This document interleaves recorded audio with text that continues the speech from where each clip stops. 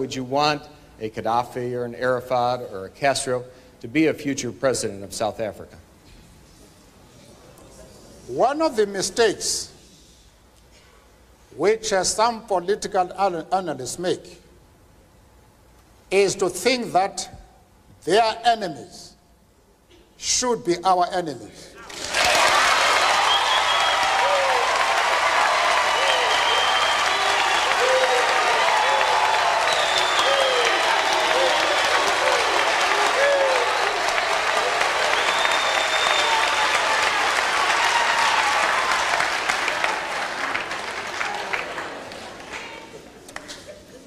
That we can and we will never do. We have our own struggle, which we are conducting. We are grateful to the world for supporting our struggle. But nevertheless, we are an independent organization with its own policy. And the attitude of every country towards, our attitude towards any country is determined by the attitude of that country to our struggle.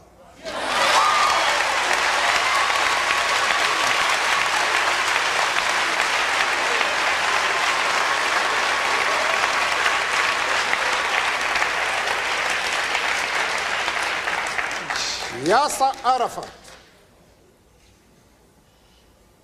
Colonel Gaddafi, Fidel Castro support our struggle to the hilt.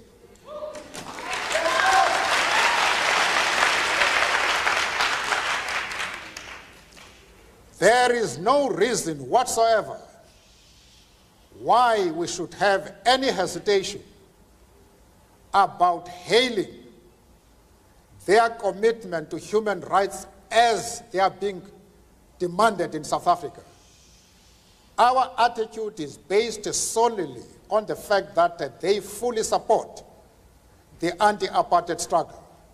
They do not support it only in rhetoric.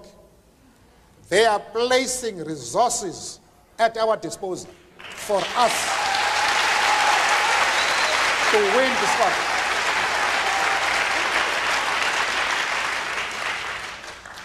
That is the position.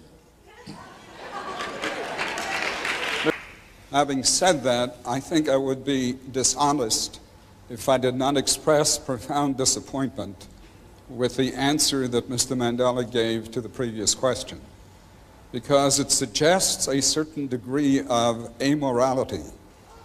The, it suggests that the what these people do in their own countries, what a Gaddafi does in Libya, what a, what a uh, Castro does in Cuba, is totally irrelevant, even in terms of the issue of, of human rights, as long as they support the cause of the ANC. I hope that is not what Mr. Mandela meant, and I would hope that he would clarify that issue further. Mr. Mandela and at the same time want me to be involved in the internal affairs of Libya and uh, uh, Cuba. I refuse to do that.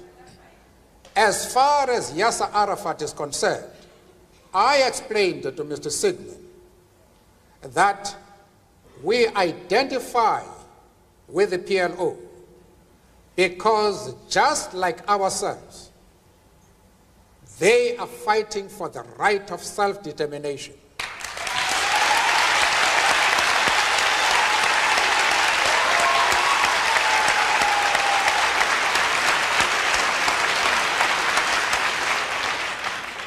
I went further, however, to say that the support for Yasser Arafat in his struggle does not mean that the ANC has ever doubted the right of Israel to exist as a state legally.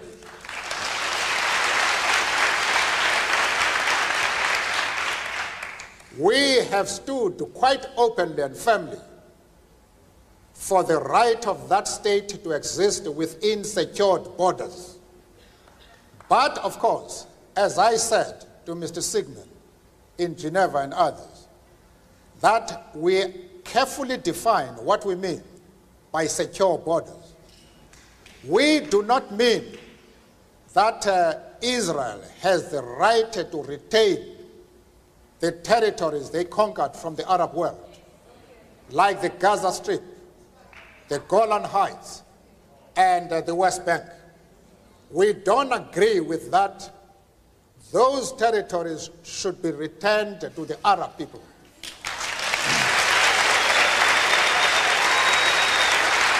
Mr. Mandela, I also explained to Mr. Siegman and company that in our organization we have Jews. In fact, Mr. Gaddafi did not allow us to open our offices in Libya precisely because we had the courage to say to him, we work with the Jews in our organization. And he didn't uh, allow us to open an office until February this year, when he had to accept us as we are. We are not prepared to be swayed by anybody. We have an independent policy which we assert no matter with whom we discuss. The Jewish leader have any doubts about our stand, I am prepared to address them and to allay at their concern because they are a very important community both in South Africa and, of course, in the States. And I'm prepared to iron out any differences that might exist. But they must know what our stand is. Arafat is a comrade in arms, and we treat him as such. And as I have said, we have many Jews, uh, members of the Jewish community in our struggle, and they have occupied very top positions. But that does not mean to say that uh, the enemies of Israel are our enemies. We refuse to take that position. You can call it being political or uh, a moral question, but uh, for anybody who changes his principles depending on whom he is dealing. That is not a man who can lead a nation.